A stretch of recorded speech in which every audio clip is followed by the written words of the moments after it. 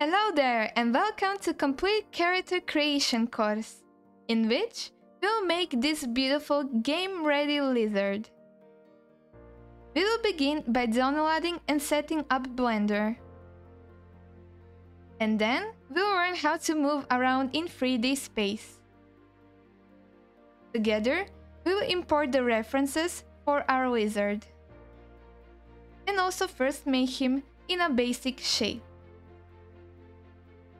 We will learn some anatomy to make our lizard's muscles, so we will outline them first and then sculpt them.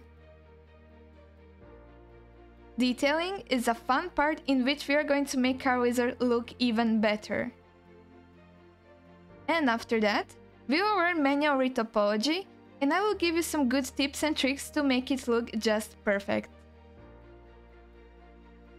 Good UVs will make our texturing whole lot easier.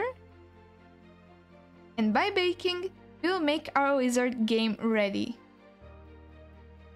Texture painting is going to be a creative process in which we are going to highlight the beautiful details of our wizard even better.